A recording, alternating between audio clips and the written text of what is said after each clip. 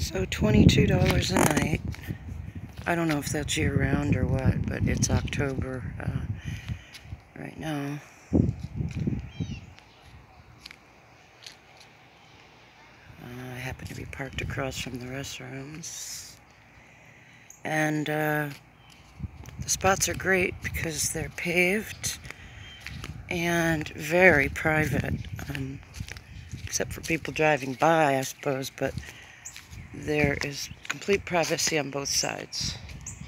Trees and blocking.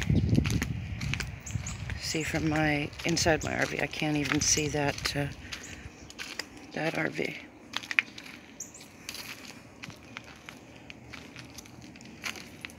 So not bad.